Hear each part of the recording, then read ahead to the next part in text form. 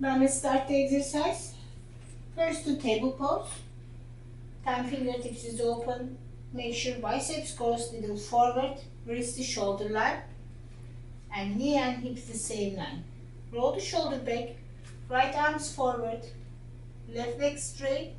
And touch your heel. Arms straight forward. And touch. Inhale and exhale. If it's so hard to touch your heel, no problem. Try to your best. Inhale and exhale.